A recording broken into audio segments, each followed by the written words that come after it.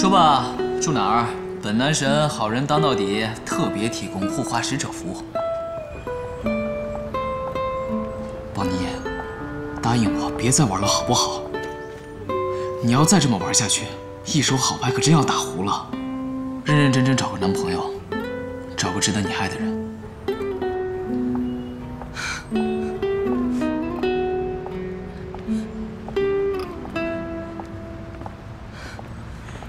哎哎，美女，你怎么哭了呀？哎呦，美女，怎么了这是啊？哎呦，哎呀，走吧，哎哎，走走走，走吧！放开我！又有什么心事？来呀！哎哎，别他干什么？他他他他要喝！你别我！滚！走走走！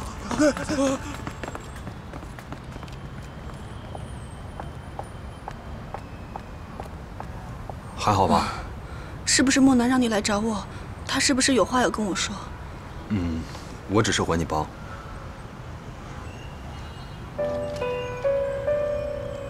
谢谢。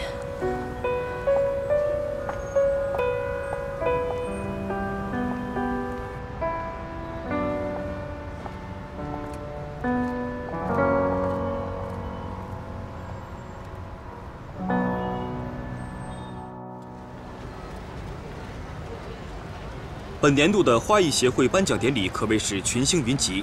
与往年不同的是，国外资本界也开始广泛关注这一行业。全球著名的时尚集团创想掌门人威廉刘携大中华区总裁莫南也出现到了现场。他们的到场引发了很多猜想：花艺行业将会得到资本什么样的垂青？行业的格局又会发生什么样的改变？让我们拭目以待。不好吧，今年一定得的是最佳企业管理奖。新闻稿我都写好了。为什么不是最佳花艺师啊？我觉得他最想得的就是最佳花艺师了。最佳花艺师他已经得过了。嗯，我觉得他应该得一个偏重管理的奖项，要不然宣传起来就太偏重个人了。我觉得应该是创意大奖。这几年我们公司在外置办的一些大型场所，都属于在业界中是颠覆性的。嗯嗯，企业管理，最佳花艺师，最佳创意。猜错了请吃饭。哎呦，好，没问题。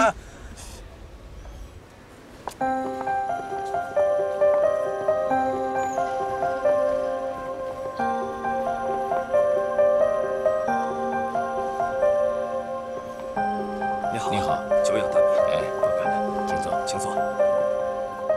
好巧啊，一点也不巧，我早想到你会来。